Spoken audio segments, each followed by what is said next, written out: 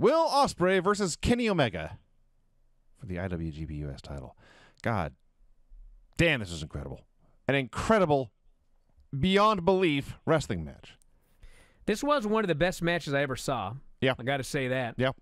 I don't know where I would rank it in terms of uh, greatest matches I ever saw, but it was it was definitely one of them. Somebody asked me how did this compare to their match at the Dome, and the answer is you, you can't really compare them because they were both. It would be like if you, if you asked me, uh, would you like a Wagyu ribeye or a Wagyu New York strip? I was like, I can't fucking answer that question. Give me Or both. if, you, or if you said, how do they compare? Well, they're both different, but they're both fucking awesome.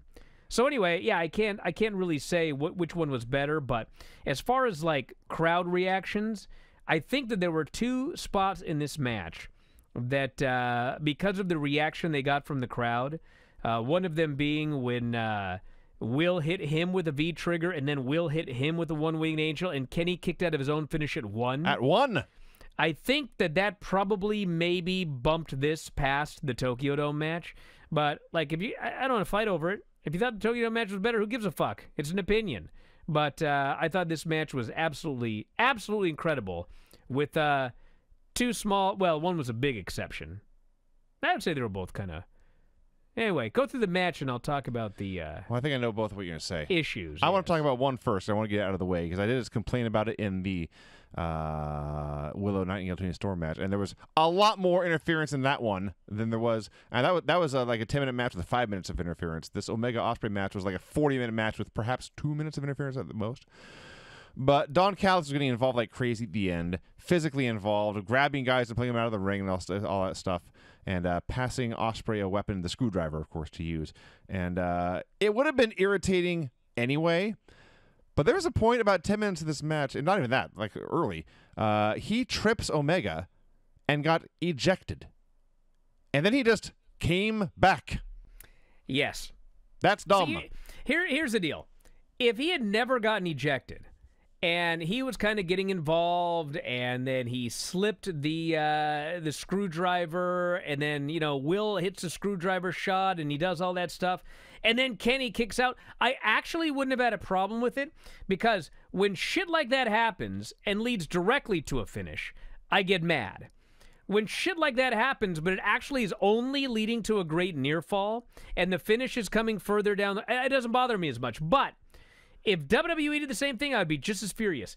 You can't kick a guy out and then just have him come back. Like, you can't do that. There should have been some sort of explanation, or, you know, I, I don't know if this needed a ref bump, but like, Callis cannot just come back. I mean, okay, fine. It's New Japan. They don't do disqualifications. Whatever. You got to at least try to eject the guy again. It was like he came back, the ref looked right at him, and the ref's like, nah, I'm busy. It's like, fuck, you sent the guy out 20 minutes. So that that was irritating. But like I would have been really furious if if Callis would have been ejected and then came back and his interference and screwdriver directly led to the finish. Then it would have been like, bro, what's going on? Okay, but it didn't. It actually led to a great near fall. Yes. The the the other thing that really and it's it's you know, I hesitate to say it's nobody's fault because like they actually did it, but that fucking uh, Tiger Driver 91. which by the way, Vinny, Mm. this guy landed on his head. Yeah.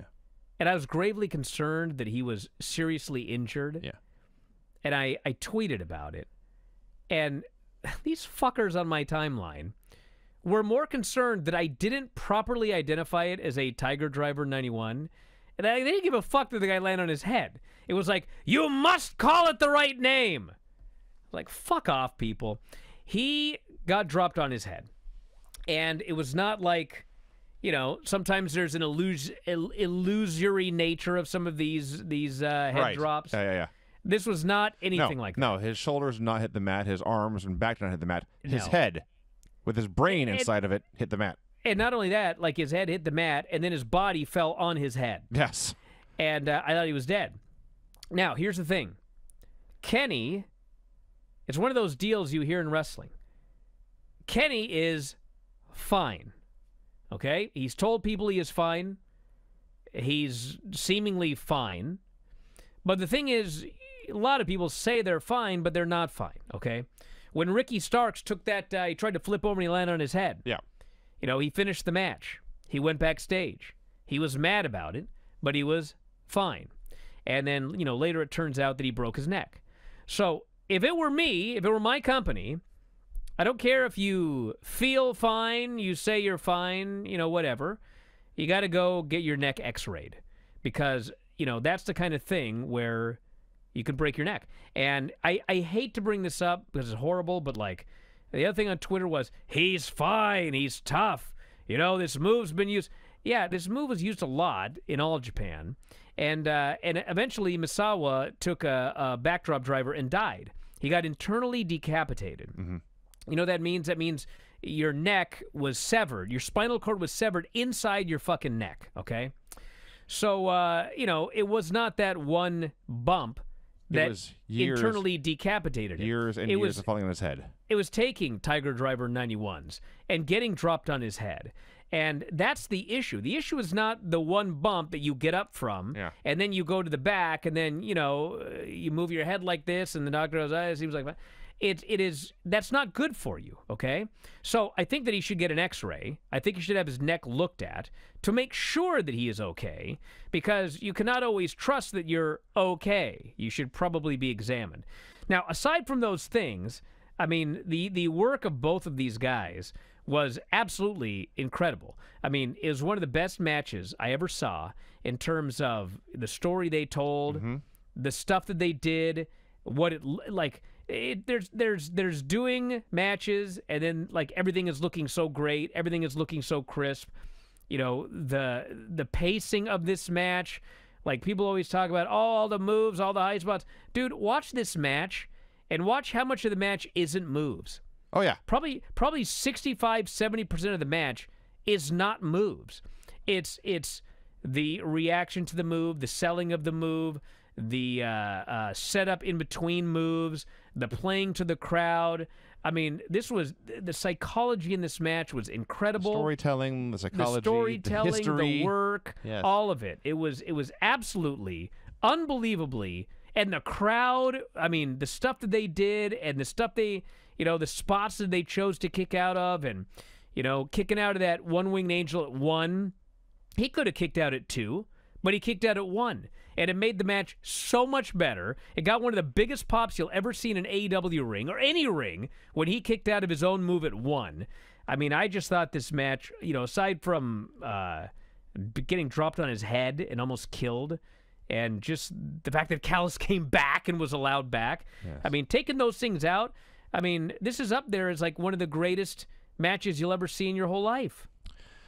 So I mentioned that there was a lot of history in this one. One of those things, of course, was Omega Ospreay One, where if you uh, have not watched that match or haven't watched it recently, it's a very different Kenny Omega. He's a psycho killer Kenny Omega, more than a great athlete or wrestler or showman or any of that. He's trying to murder Will Ospreay with as much blood as possible.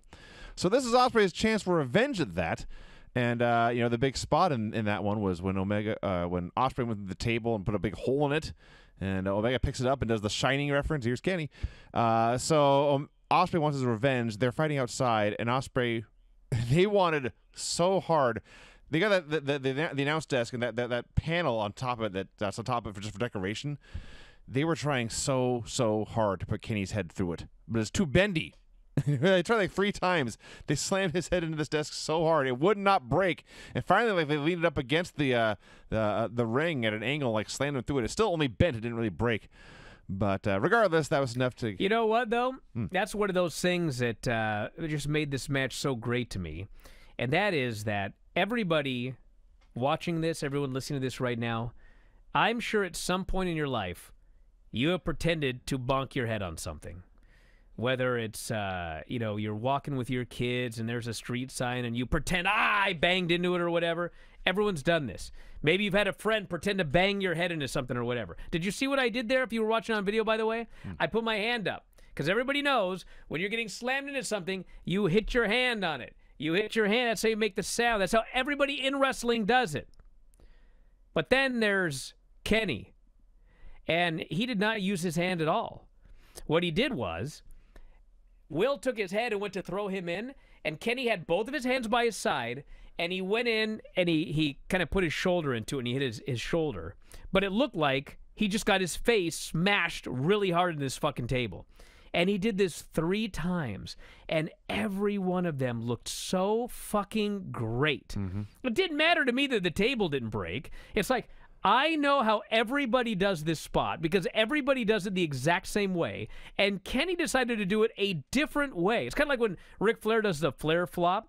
It's like he falls forward. If you do the flare flop, you fall forward and you land on your, your shoulder. It looks like you land on your face if you're on the if you're looking at the right angle, but you didn't. You landed on your shoulder. Kenny took these these head slams into the table this exact same way. It looks so fucking great. And it was just everything they did in this match was here's a little extra salt and pepper to make it look a little better, a little crisper. I mean, God, they were fucking great. They were both so great in this match.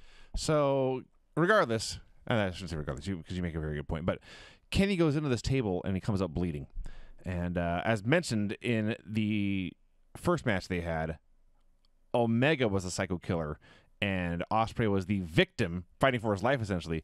Well, now the tables have turned, and this is Ospreay's chance for revenge, and he's working over the cut and beating him up and tearing him open. Then there's this he gets blood in his arm. And he goes to the center of the ring. I swear to God that this is what I'm about to tell you. He he stretched out over one minute of great theater. And he stands in the center of the ring and he looks up at his muscular left arm and he flexes his bicep and there's some of Kenny Omega's blood. And just standing there and standing there and standing there and looking at it. And he very slowly reaches up his arm to his face and sticks out his tongue just a little bit and just licks the blood just a little bit. And the whole building is chanting, You sick fuck, you sick fuck, you sick fuck. And Will slowly turns to the camera and just almost winks and just says, Yep. And he moves on. Will was awesome in this match. Also awesome, by the way. Uh, as I understand it, and I could be wrong, I've been wrong before. Uh, this is basically really it's an all an AEW show with New Japan talent and of course New Japan input of things. But the camera work on this show was amazing, and that's usually where New Japan outshines everyone in the world. There is a point where uh, it's it's right after this, in fact, where uh, Ospreay has Omega draped across the ropes to hit the V trigger, and he does Omega's taunt with the finger gun pose and all this, and the camera work they have of Omega's face against the ropes in the foreground, looking under his face at Ospreay in the background. It's it's art. It is just art. That's all it is. So we go from a slasher film to Ospreay is outside taunting the fans, and boy, these fans were taunting him. And oh look, one of them has a Canadian flag. And Ospreay had grabs that flag, and suddenly it's Bret and Shawn in Montreal before the Yes. finish. Yes. Because And actually, it was before even that. There's a little kid in the front row. yes, and and this kid starts yelling at Ospreay. So Ospreay goes and he starts cutting a promo on this kid, and this this kid screams, "Shut up!" And the whole fucking building heard it, and they start cheering for this kid. yeah, yeah, yeah. So then Ospreay sees the the flag and he grabs the flag. And first, you know, he does the the Shawn Michaels, you know, super porky deal with the thing. And then he tries to stick it in his nose, but it won't stick in his nose. And so then he goes to his spot, and Kenny fucking hits him with his Larry. He takes a flip bump. Yeah. The flag goes flying. Kenny now grabs the flag, and even though it's a Canadian flag, now the fans are like, "You can use it as a weapon. We don't give a fuck." So he starts choking the shit out of Will with his flag, and he's hanging him with the flag. And then at the end, he takes a flag and he gives it to the kid that told Ospreay to shut up. Yeah, he, does, he doesn't give it to the flag owner. He gives it No. to the other kid. He gave it to the kid. Yeah. It was fucking awesome. Now, here's why they what made all this so really, really, really great. If you're watching this, like in in in uh, uh, if this was a 100% real fight, Kenny's comeback at this point would not have made a lot of sense. It was a weird time for that to happen, but it's what the crowd wanted to see right then. And the crowd is sick. Ospreay watching this, you know, rubbing his crotch with this flag, rubbing the flag in his crotch, and Omega knows the crowd wants to see him make a comeback now. So, God damn it, it's time for the comeback because the crowd wants it. And he gave it to him. And uh, obviously, they're going to have the spot where Omega slammed Ospreay's face into the stairs made him bleed. But uh, they did that, and then Omega was immediately cut off and then went right, went right back to the heat. And uh, part of this feud has been Ospreay insulting Canadians. If you have not checked out Ospreay's videos on social media of his trip to Niagara Falls, go watch them. They're brilliant. but there's, there, I I would say there's one. Well, actually, Bryan, you can relate to this. He's got like the, the pink plastic poncho on, and they're on the boat that goes down by the falls, and it's a hundred mile an hour winds, and he's sopping wet, and he's just miserable. so he's been Yeah, it sounds about right. hating Canada for a while. So he cuts uh, Omega off. He starts using the, the submission holds of famous Canadian wrestlers, Bret Hart sharp, sharpshooter, some of the guys crossface. He's inviting Kenny to chop him, but Kenny's just out of gas and he can't. He's hitting shots. There's nothing behind him. So Ospreay is gonna mercy kill this fucker to end this. He goes to the Os cutter. Omega does the most casual. That's not the right word. He's exhausted, but he takes half a step back. His head doesn't move. His arms down by his sides. He's able to raise one knee and catch Ospreay in the back of the head with his last gasp. It's the best cutoff. We're 30 minutes in at this point. It's 30 minutes that has absolutely flown by. Uh, they start going back with a few more big moves. Uh, here's where Callis returns. Uh, Kenny even at one point stops his offense to point at Don, make it very clear everyone knows he's there. And we have the part where uh, Omega hits the V trigger, but Don is grabbing Ospreay's arm, won't let him be pulled back to be pinned, and he passes Will the screwdriver. Now I complained about this earlier because again, it shows like Forbidden Door. I don't want interference, but if you're gonna do interference, get the absolute most out of it. Don passes this screwdriver to Ospreay, and Ospreay's got it, but then he's grabbed from behind and hoisted into the air as Omega is going to go for the one winged angel. So Omega is walking around the ring with Ospreay up on his shoulders, which means the whole goddamn world except Kenny Omega can see Ospreay hold up that screwdriver and stare at it. And he knows this is his chance. And fuck this guy, by the way. Omega tried to kill him in Japan, so he dabs Omega with that screwdriver. He follows with a hidden blade. He follows with a stormbreaker. It would have been a well horrible finish, but it would have been a believable finish but Omega gets just barely gets that foot in the ropes. They got the absolute most out of that screwdriver. That was an incredible spot. That was incredible. But then, and you've talked about it. What followed next was like the, the greatest thing I ever saw. Ospreay said, "That's fine. He's finished. I, will I'll pin him now. I'll hit the his friend. I'll hit his friend's finish, the Kamigoye of Ibushi. I'll hit him with his own one winged angel, and I'll pin him in his home country. And he hits a perfect one winged angel." And he hits that leg, and the referee counts one. And Omega pops to his feet and explodes. Everyone is jumping up and down, going crazy. I don't know if I can call it a near fall because he kicked out at one. It wasn't that near, but that was like the best non pin pin attempt I ever saw in my life. Omega's running wild. He's hitting all his big moves. They're going back and forth. Here is where the Stormbreaker and the Tiger Driver 91 occurred. I thought my neck was broken from watching this move. I screamed very loudly. And uh, Omega did kick out of that, but it was, he didn't kick out much longer. Oh, Ospreay had one more Hidden Blade, one more Stormbreaker, got the win to win the U.S. title. Unbelievable match. Unbelievable. Yeah, it was it was an all timer, dude. It was an all timer. And again, I mean, you know, I wish they would had some sort of explanation for Callis coming back because the actual spot that he was involved in led to that incredible, incredible, incredible near fall.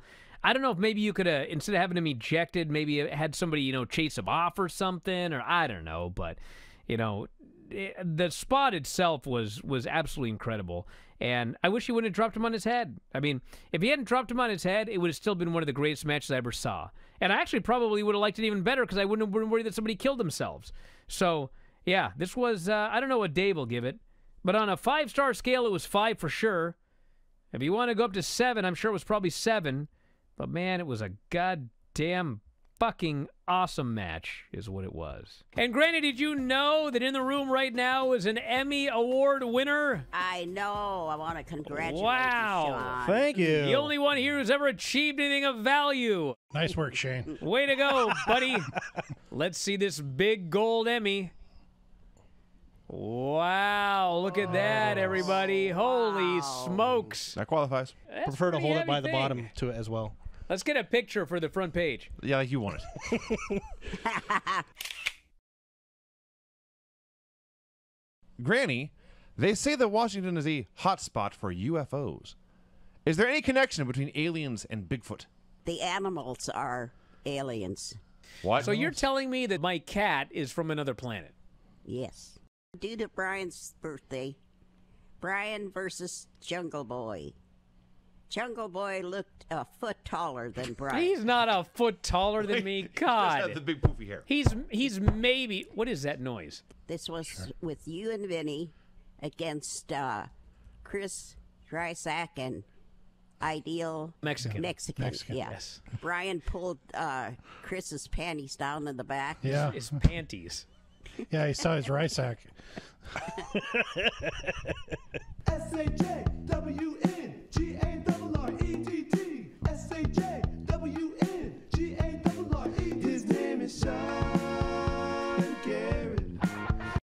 If you enjoy these videos, for just $7.99 per month, you can enjoy full length editions of The Bryan and Vinny Show, Wrestling Observer Live, Figure 4 Daily with Tom Lawler and Lance Storm, the Mad Men podcast, Speak Now Pro Wrestling with Denise Salcedo, and more, plus hundreds of archived shows, all in beautiful HD. Don't miss out. Join us today.